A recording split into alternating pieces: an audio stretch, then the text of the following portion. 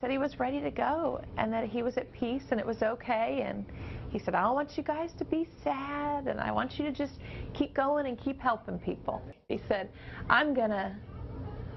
I'm going to enter the gates and I'm going to tell all the Marines that are standing there that they're relieved of their duties.